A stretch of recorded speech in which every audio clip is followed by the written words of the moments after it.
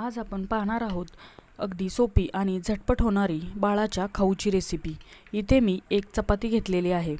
आता मी ही चपाती एका बाउलमध्ये दहा मिनिटे पाण्यात भिजत ठेवणार आहे.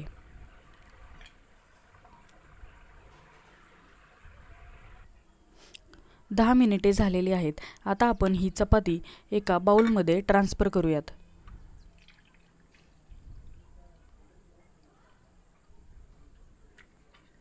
आता आपल्याला ही चपाती एका चमच्याच्या सहाय्याने व्यवस्थित बारीक करून घ्यायची आहे.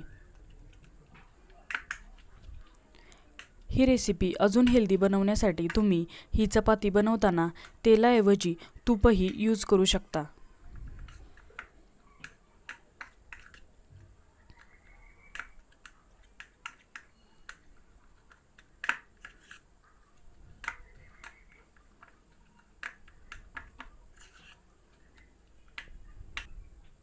आता मी याच्यामध्ये अर्धा कप कोमट दूध यूज करत आहे.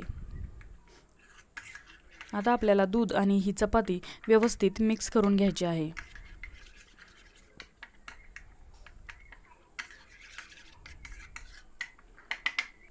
आता मी याच्यामध्ये एक चमचा मध ॲड करत आहे.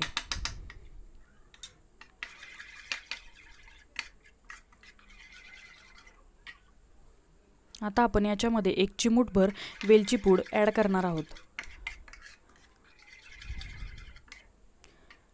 ही रेसिपी तुम्ही एका वर्षाच्या वरील बाळाला आरामात देऊ शकता. प्रत्येक बाळाची पचनसंस्था ही वेगळी असते. त्यामुळे जर तुमच्या बाळाची पचनसंस्था स्ट्रॉंग असेल तर तुम्ही एका वर्षाच्या आतमध्येही ही रेसिपी बाळाला देऊ शकता. व्हिडिओ जर तुम्हाला आवडला तर लाईक करा. तुमच्या मित्रमैत्रिणींशी नातेवाईकांशी ज्यांना या माहितीचा उपयोग होईल अशा सर्वांशी शेअर करा.